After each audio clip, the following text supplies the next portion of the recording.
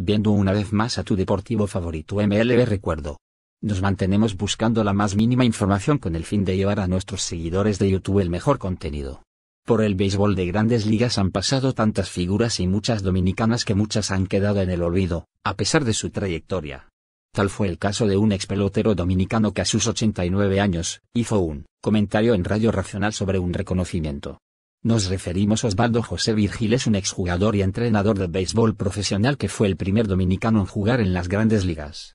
El 23 de septiembre de 1956, se convirtió en la primera persona de su país natal en jugar en las grandes ligas cuando comenzó para los Giants en la tercera base contra los Phillies de Filadelfia. 21 meses después, el 6 de junio de 1958, Virgil se convirtió en el primer jugador de ascendencia africana en salir al campo para los Tigres, nuevamente comenzando en la tercera base, esta vez contra los senadores de Washington.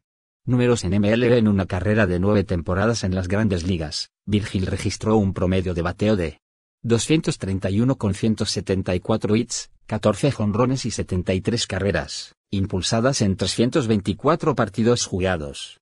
Después de que terminó su carrera como jugador, Virgil pasó 19 temporadas como entrenador de los Giants, 1969-72, 1974-75, Exposiciones de Montreal, 1976-1981, Padres de San Diego, 1982-1985, y Seattle Marines, 1986-1988.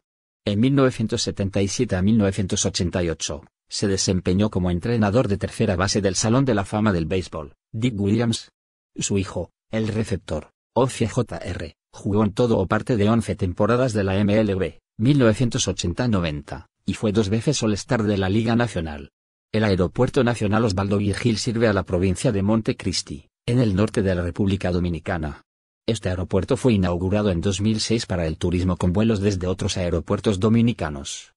Liga Dominicana Virgil debutó en la Liga Dominicana en la temporada 1955-56 con los Leones del Escogido, luego en las Águilas Cibaeñas, 1967-68 y 1970-71.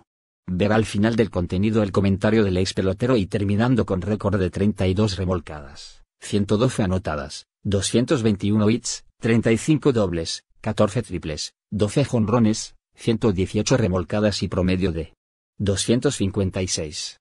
En 862 turnos al bate. Además se desempeñó como manager de los equipos Águilas Fibaeña Leones del Escogido y Azucareros del Este. Aquí el comentario Osvaldo Virgil, quisiera que antes de morir le pongan mi nombre aunque sea una gallera. A mí me mantiene con vida el sonido del bate dándole a la pelota. Si te gusta el vídeo no olvides suscribirte y dejarnos tu comentario.